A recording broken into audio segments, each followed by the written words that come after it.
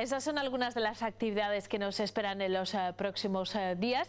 Nos iremos haciendo eco de ellas, no se preocupen, pero ahora vamos a cambiar completamente de asunto. Nos vamos a ir al entorno de la Universidad de Burgos, donde estos días se está desarrollando una campaña dirigida a, bueno, a frenar la adicción eh, al juego de los jóvenes así que no es casualidad que se desarrolle en el ámbito universitario. La campaña se llama Hazte un fuera de juego y nos acompaña en el plato de 8 Magazine el coordinador de esta campaña, que es Adrián Mayén. ¿Cómo estás, Adrián? Bienvenido. Muy bien, encantado de estar aquí contigo.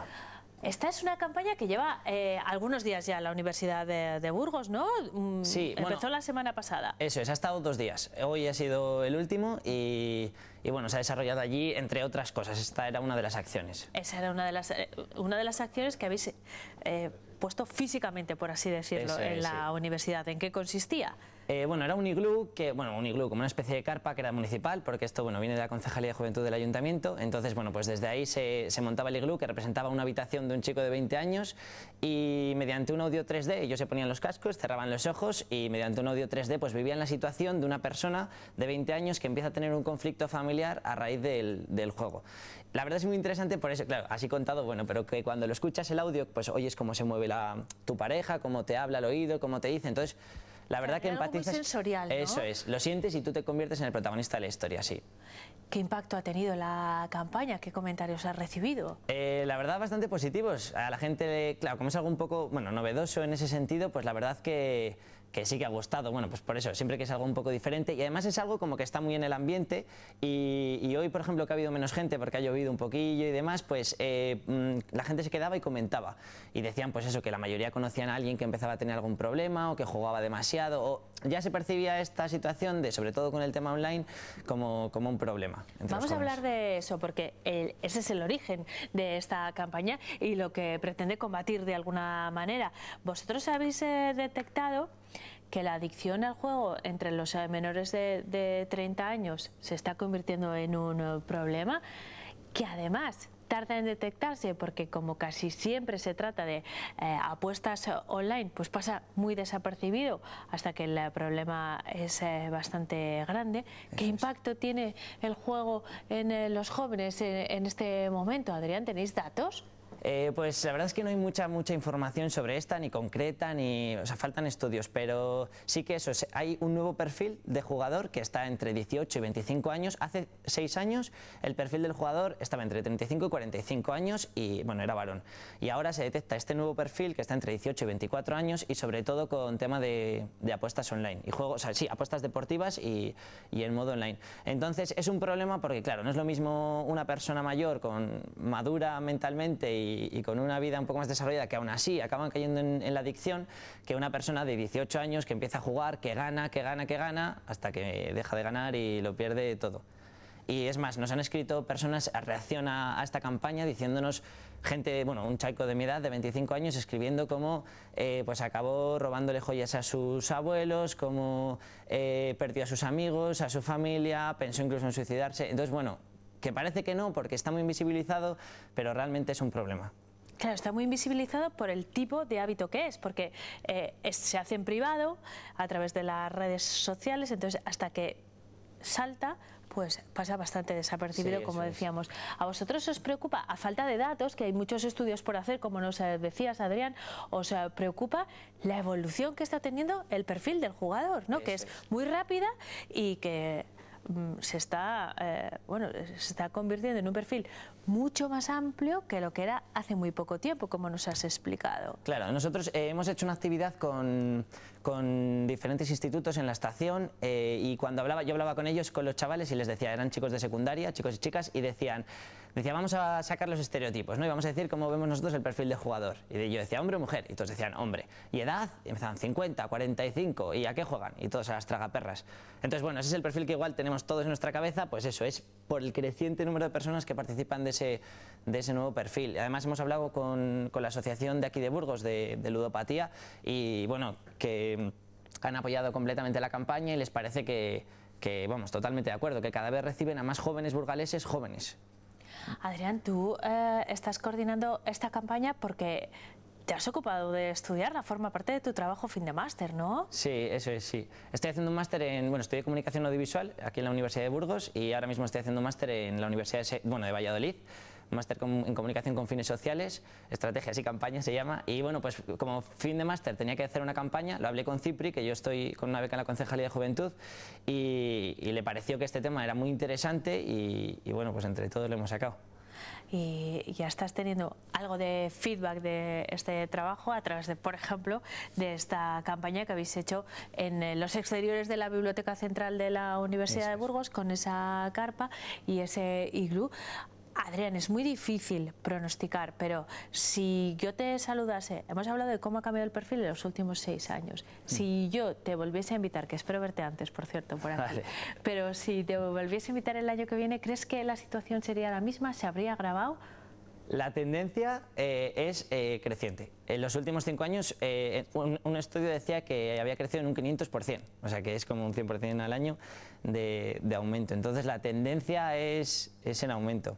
Entonces, bueno, pues con esto si conseguimos frenar un poco, o por lo menos, no, el juego en sí, no el hábito del, o sea, no el jugar en sí o el apostar en sí, sino el ser conscientes de que, de que hay una línea y que si la pasas empieza a ser un problema, ¿no? Cada vez se está normalizando más, en los, en los bares puedes ver cómo grupos de gente joven hecha, o sea, apuesta durante un partido, entonces con saber que eso puede llegar a ser un problema y, saber que puede llegar a, a la ludopatía y a una adicción al juego, pues pues sería un logro ya de la Estaba relacionando lo que estás diciendo con, con, las apuestas que se hacen, las apuestas deportivas, eh, por ejemplo, que bueno que cada vez están más eh, son más frecuentes, ¿no?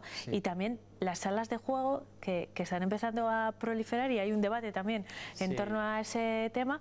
Así que igual tienes que volver pronto para hablar de esas cuestiones. ¿Qué te parece? Pues eh, yo encantado, cuando quieras. Estupendo. Bueno, felicidades por este trabajo, Adrián. Muchas gracias por habernos acompañado y lo dicho, te espero pronto por aquí, por 8 Magazine.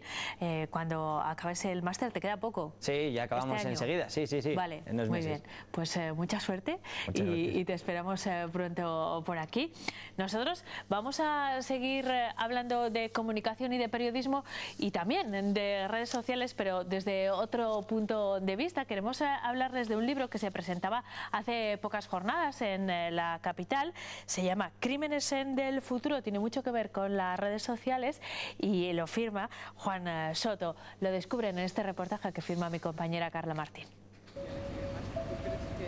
Juan Soto es columnista, colaborador en programas de televisión nacionales y escritor. Con Siberia recibió el premio Tormenta al mejor autor revelación. Con Ajedrez para un detective novato, el premio Ateneo Joven de Sevilla y su ensayo Arden las redes fue un éxito de crítica y ventas. Un éxito que volverá a perseguir con su último trabajo, Crímenes del Futuro. Es una novela que surge de la siguiente pregunta. ¿Cómo van a vivir mis nietos? Y esto lo digo yo, que soy así de joven, que no tengo ni hijos, pero porque la preocupación está cuando leo, la preocupación aparece cuando leo los periódicos, cuando veo que de esta crisis estamos saliendo un poco torcidos y que estamos recorriendo un camino cuyas consecuencias van a pagar los que no han nacido todavía. Es una novela que discurre en un futuro en el que España se parece más a los años 40 que a lo que suele contarnos la ciencia ficción. ¿no? Aquí no hay naves, hay aperos de labranza en este futuro que, he escrito.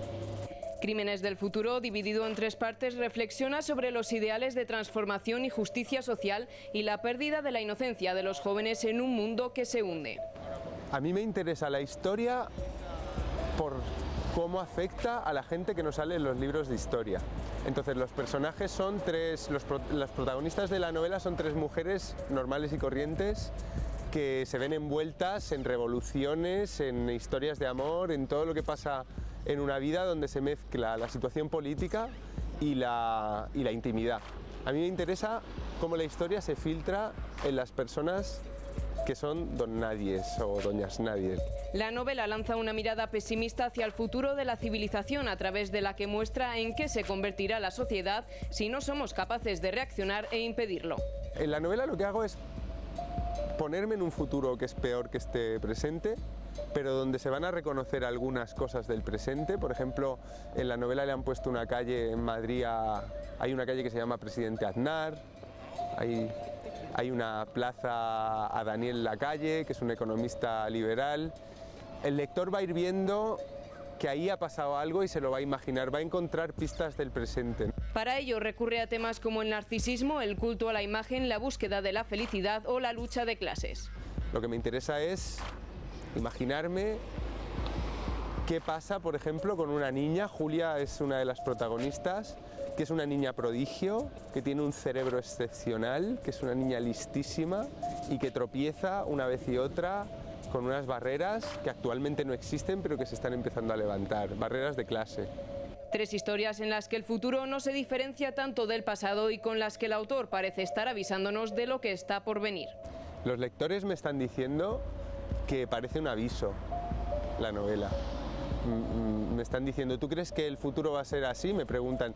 Digo, no, yo creo que depende de nosotros. O sea, el, título Crímenes del futuro hace referencia a todas esas cosas que ahora hacemos distraídamente y cuyas consecuencias padecerán otros. Así que tiene algo como de advertencia quizá.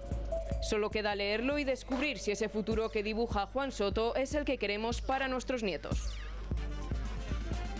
Qué inquietante el futuro que nos eh, plantea Juan Soto en su novela. Bueno, vamos a reflexionar un poco en la pausa de publicidad y a la vuelta abrimos nuestro tiempo de tertulia. Hasta ahora.